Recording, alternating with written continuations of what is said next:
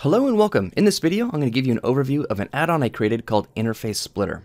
This add-on was developed to help keep my interface clean and consistent by providing me a very quick way to open up different spaces in Blender.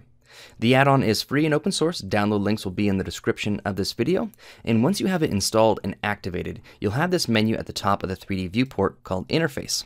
And you have these different options in here. And once you select one, that opens up that space and splits the interface in a predefined way. And so you can see that the outliner and the property space just open right here from the left. But if you're opening up like the UV editor, that's going to split the space in half, giving you a little bit more room. And then the timeline options will open up from the bottom which is really handy. But the nice thing about this is this menu is customizable. And so here, if you go into the preferences and open up the interface splitter add-on, the one you have activated here, you'll have a preference where you can use a custom menu. And so if you check this option, now you can add different menu items. So once we click that button, now we have a new menu item added here and we can give it a name. So if this is going to be the UV editor, we can type that in. And then here we can select the space that we're going to be using. So this is the UV editor.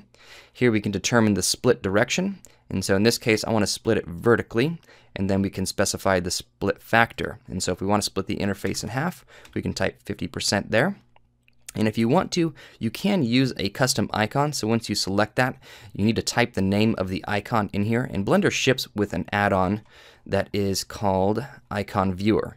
And so with that um, expanded, you'll have access to this Icon Viewer button, which once you click that, these are all the different icons that you can use in Blender. And so once you click on one of these, you can see that it gives you the name of that icon right here.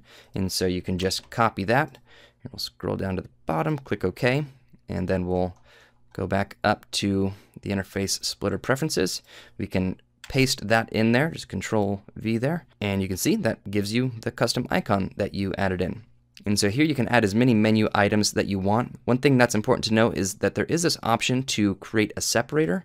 And so once you click that, that's just going to add a separator. Allows you to group the different menu items very quickly. So here let's add in one more option. And in this case, let's go ahead and open up the shader editor and let's go ahead and split it horizontally 50%. And we'll go ahead and keep the same icon. Here we'll go ahead and type in a name for that icon. So there we go, or for that menu. And we'll close out of this. And so now we have our custom menu with that splitter in there. And so when we click on UV, that opens up the UV editor, just like we would expect. And then the nodes opens up the node editor. And so, as you can see, this is not a game-changing add-on, but little speed-ups like this can be very helpful. Now I'm working on some bigger add-ons to help with the process of creating parametric assets. So feel free to subscribe to this channel for future updates on that. And if you have any questions, leave them in the comments below. I'd like to thank you for watching and I'll see you in the next one.